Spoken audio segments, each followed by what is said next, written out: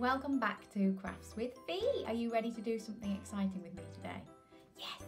As Easter is coming up, I've got some lovely Easter activities for you. And today's Easter activity is making this wonderful egg. Doesn't it look good? And it's so simple to make, so I really hope that you'll have a go at it. What you need first is just a cardboard box, any cardboard box that you can find, and just cut out some of the card. Once you've done that, you will need to draw an egg shape on there. So have a little look at mine and see if you can draw an egg just like that. If you're having trouble, ask a grown up to help you draw it. it doesn't have to be perfect though, just has to look like an egg. Once you've done that, all you've got to do is then cut out that middle bit. You can either use scissors and cut it out, or I use a special crafting knife to cut it out. If you use a craft knife, uh, it ended up me having another egg, which I could then decorate later. So I decorated it with um, different tapes that I had, but you could colour it with different felt tapes, whatever you wanted. So a second craft activity there if you managed to cut out it in one go.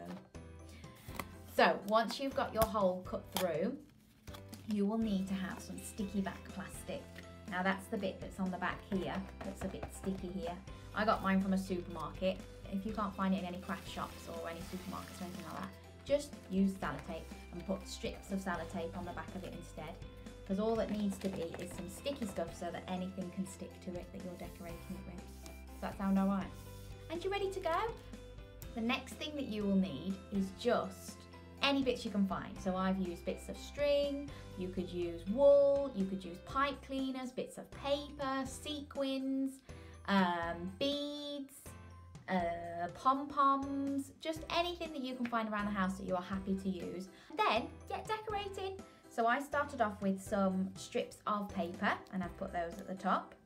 I've got some pom-poms and I've put them in a special order and made a pattern out of them. So orange is my middle and then I've got different colours going at either side, but you can put yours on however you want.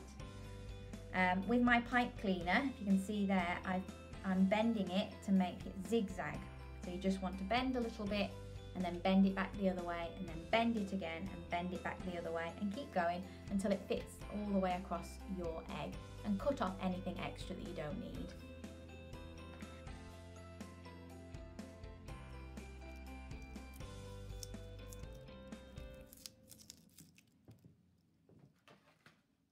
With my wool, because it sticks so well to the sticky back plastic, I'm doing it as I go along. So start with the wool at one end and then I'm just curling it round to make a lovely curly pattern all the way across my egg. And then when you do get to the end, just chop off anything that you don't need so it's not hanging over the edge.